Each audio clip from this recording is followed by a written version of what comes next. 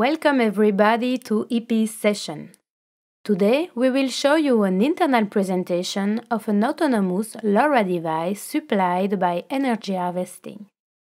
I'm Sarah and I'm working as field application engineer at e-peas.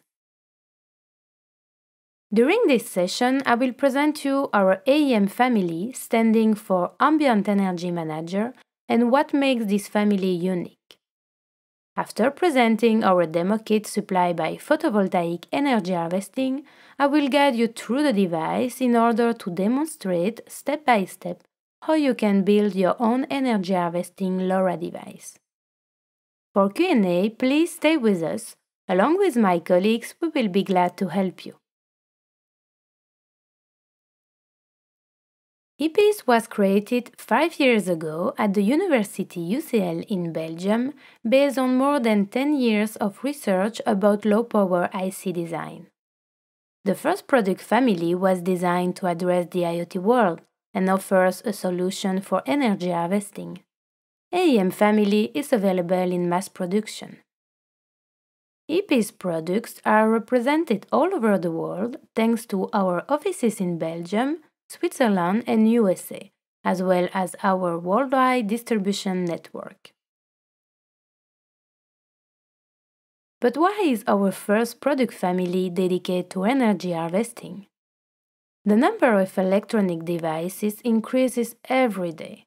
We are surrounded by connected devices, tracking devices, or sensing devices we can find applications for predictive maintenance or monitoring processes in the Industry 4.0. Applications in the house for smart home monitoring enable a control over your consumption or security. Unfortunately, most of those devices are powered by disposable batteries. Deploying millions of batteries will lead to replacing millions of batteries within the next five years. Changing all those batteries causes battery maintenance headaches to end user and industries. How to estimate the real lifetime, who is going to change it, how much is it going to cost you? Energy harvesting offers you a solution to these problems and removes the maintenance cost and issues. Indeed, energy harvesting is a new way of supplying your low power application with available ambient energy. But how is it possible and what do you need to supply your hardware device with ambient energy? First, you need an harvester to transform the energy into electrical power. Each source requires an adapted harvester with a specific behavior. Then you need a storage element to store the energy for later use. You might be wondering why you do need other elements to supply your hardware device because of those reasons. First, you would like to extract the maximum available power to optimize the energy harvesting. Then, you would like the system to cold start and even work at low voltage and low power. Eventually, you would like to protect your storage element. And optionally, you would like to integrate a converter to directly supply your hardware devices. All those functions are integrated in our AEM family. And how do we ensure to extract the maximum power? Let's take a photovoltaic cell as an example and look at its power versus voltage curve. This one is represented here in green and the blue curve is the current versus voltage. We can see a new graph below higher luminosity. For both cases, one can observe a maximum power point. Those red bonds are the ones we want to work at to extract the maximum power from the ambient source. All the harvesters present a power curve looking like a bell with a maximum. Their shape could vary, but they all share a maximum power point. This means that we need to work at a defined voltage, called here VMPP. Using a normal boost won't be efficient because you have no control on the working voltage and you may not even start since voltage are lower than half a volt. In order to start harvesting and extract the maximum, you need a cold start and a tracking feature. And how does tracking work? by measuring the open circuit voltage of the harvester at a constant frequency. Indeed, the ratio between the VMPP and the open circuit voltage is defined by the harvester technology. Please note that this ratio is provided by the harvester manufacturer. At a constant frequency, the AEM gets disconnected to let the harvester achieve its open circuit voltage. And after measuring and applying the ratio, the AEM has a new working voltage adapted to the environment changes. Regarding the configuration, please note that the AEM family is a strictly hardware design. It is configured with I/O pins and does not require any software. To summarize, the AEM extracts the maximum available power and manages it to the storage element with only 400 nanoamps internal global leakage. It cold starts from only 3 microwatts at 380 millivolts and enables the system to start from deeply discharged nodes. The AEM adapts its working voltage to extract the maximum power from the harvester. Eventually, the AEM protects the storage element from overcharge and overdischarge and provides two regulated output voltages to supply your hardware device. The complete family includes a product for each source with a MPP ratio and a frequency adapted. The AEM10941 for photovoltaic sources, the AM2940 for thermal sources with an external cold start circuit to start at 60 mV, the AM3940 for AC sources. In case of radio frequency, a matching network and a rectifier are required to provide DC voltage to the AEM. In case of low frequency, like vibration source or inductive current, an external rectifier must be added to provide DC voltage to the AEM. Support is provided by EP, so please do not hesitate to have a look at our website. But what makes our AEM unique? The knowledge of e-peas remain in its ability to design low power and low voltage circuits we can observe the great work in the internal boost working from 50 mV after cold start, in the global leakage current of only 400 nanoamps, in the cold start condition showing the lowest power condition on the market, in its easy use and configuration, and its unique features. The BAL feature enabled to balance dual cell supercapacitor without any external leakage. The ZMPP features allow to work at a defined impedance instead of a voltage ratio.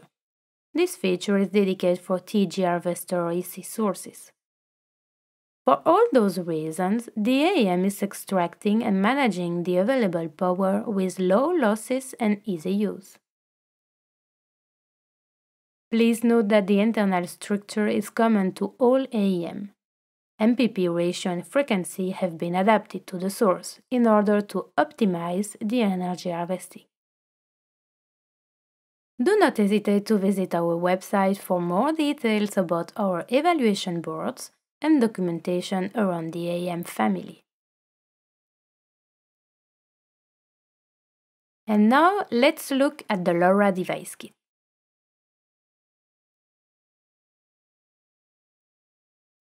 Imagine a smart home application sensing the temperature, the humidity, and the luminosity in order to send those data to an application on your smartphone. This could be useful to monitor hidden lights in your home. But imagine your customer changing the batteries, one after the other. What if you could propose them an autonomous system no need to change the battery. By looking deeper at our LoRa demo kit, you can see three low power sensors measuring the temperature, the humidity, and the luminosity. Of course, it integrates a photovoltaic cell to harvest from indoor light and a supercapacitor to store energy. It also integrates a radio module, a LoRaWAN in this case, which is sending messages every 6 minutes.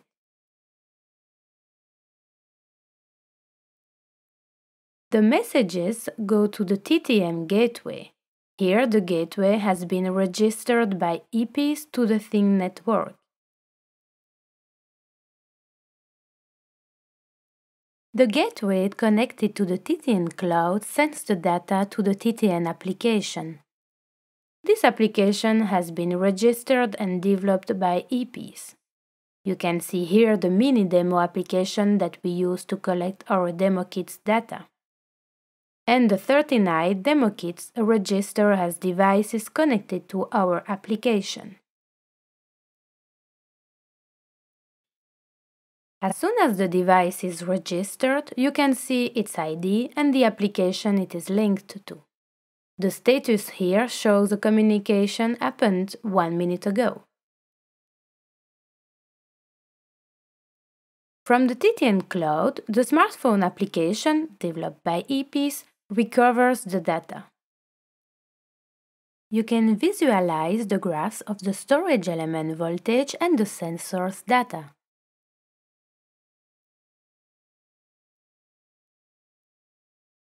If we open the outer box to look inside the device, we can find low power sensor in red, a photovoltaic cell dedicated to indoor light in yellow, a supercapacitor in blue, our AEM10941 in green, and low power electronic has a MCU with a LoRa radio. But how did we size the element? Based on the power load consumption, 50 microwatts, we calculate the energy consumed by the MCU, the radio, and sensors. We can estimate the energy that must be boosted in the storage element by integrating the LDO converter efficiency and the internal leakage current of the supercapacitor. From this boost energy, we can estimate the required power source from the harvester by integrating the time that the power is available and the internal boost efficiency. Eventually, we can estimate the energy that must be stored. Indeed, energy must be stored for the moment no energy is available. For example, during night if the light is the source. Assuming 8 hours of light and a supercapacitor with a 1 microamps internal leakage, we estimate the size of the storage and the power required at the source to supply the load at 3.3 volt. We define that the required autonomy is about 16 hours, considering the light to be back each morning. Starting from the average load consumption, we can estimate the consumed energy over a day. Then we integrate the LDO efficiency and the internal storage leakage current to estimate the energy that must be boosted. The power required at the source, including the boost efficiency and the fact that the light is available 8 hours per day, is about 210 microwatts. The energy to be stored is the one necessary during 16 hours. If the energy required over a day is about 5.5 joule, the one for 16 hours is about 3.6 joule. The supercapacitor size required to store this amount of energy between the maximum level 4.5 volt and minimum level 3.6 volt on the supercapacitor is about 1.1 farad. From the required power at the harvester, we can start looking at the adequate harvester technology for indoor light environment. The dye-sensitive cell is a good choice. The product from 3G Solar has been selected. Below low light luminosity of 300 lux, the required area to provide around 200 microwatts is about 17.5 cm square. 35 by 50 millimeter.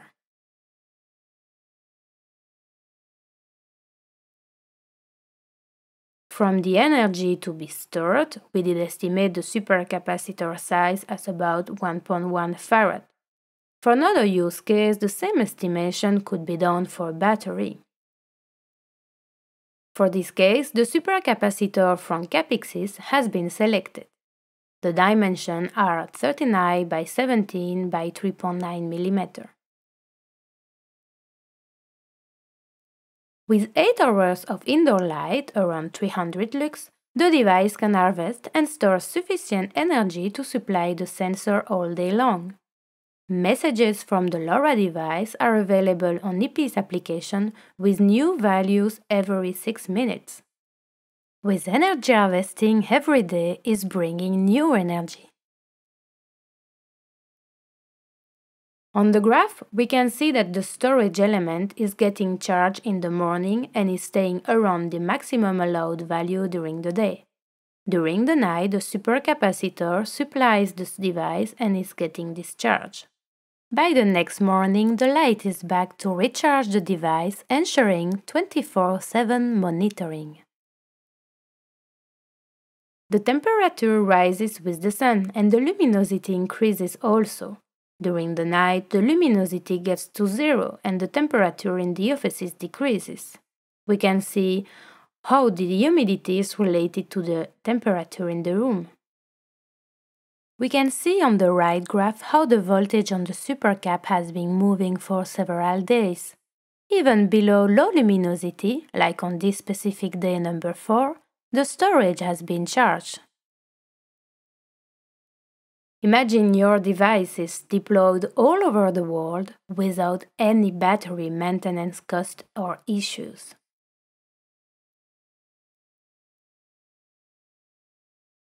Of course, each hardware device shows different requirements and the element must be sized based on your expectation. The most important is to understand what you would like to supply in order to estimate the load consumption. Then define which converter to use and understand your environment to identify when the energy might be available. Eventually, choose which autonomy you need and when the source won't be available.